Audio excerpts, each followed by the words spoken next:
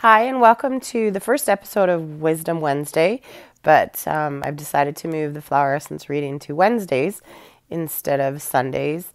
Um, just felt like that was a better choice. So um, today, the flower is, or the flower for this week, is the flower essence of dogwood, and it came up under the area of abuse. And this one specifically talks to people who um, who were physically abused or sexually abused in childhood um, or lived in very harsh conditions. And um, what it talks about is that their etheric body, which is, for those of you who don't know, is the energy field that surrounds your body, closest to your body. And what it talks about with this one is that the energy body shrinks and there's a disconnect between the energy body and the physical body, which leads to hardened emotions um, and a lack of grace. It talks about when we are connected with our etheric body or we um, are in harmony, then we have grace filled movement.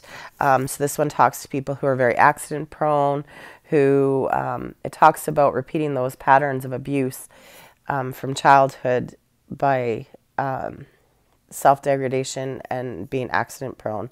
So um, this one is definitely for people who um, who did go through abuse as children.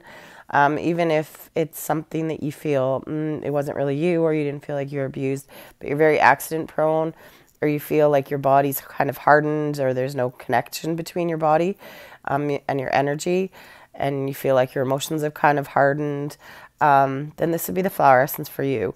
And it is the flower essence again of dogwood. And in energy healing with flower essences, you simply ask the energy of the flower to come in and to assist you with whatever kind of stands out to you. And then you feel it come into your body.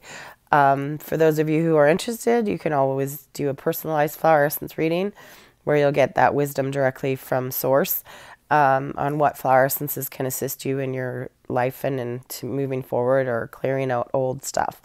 Um, so this one again helps to release that pattern of um, abuse that you're carrying with you from your previous, and it helps you to um, increase your etheric body, I guess, and so that it becomes in better harmony with your physical body.